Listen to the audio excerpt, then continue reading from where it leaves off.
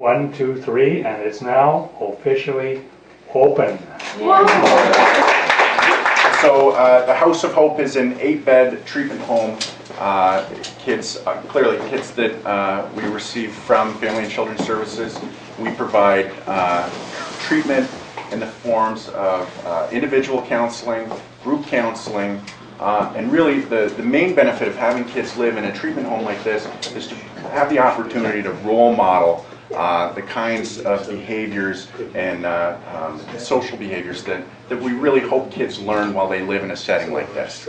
So my staff and myself uh, do activities, games, cooking, cleaning, really all the things that, that you would get, all the building blocks that you would get from living in a family home, uh, just in a, in a slightly different setting. So this is an eight-bed residence uh, for kids aged 11 to 17. Currently, we, we are full with eight kids, uh, closer to the 13-year-old age group. Because these kids are now located in Niagara and getting the help they need here, they can have an ongoing, much easier relationship with their FACS staff and with our staff and the teamwork that we work together. We're able to work with these kids and support the kids in a joint way. This is, tends to be where the kids spend the most time. Um, so uh, Friday night's movie night. Um, this is where we have the movie night.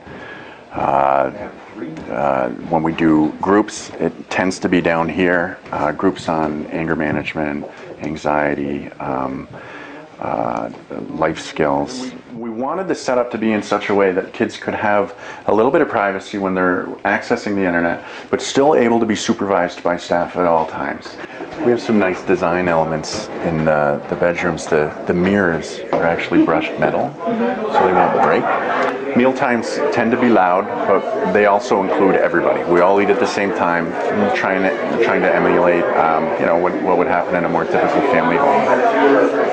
We want to know what happened during the day. We want to plan the rest of the evening, and that's the time for us all to check in with uh, with everybody and plan for the rest of the night.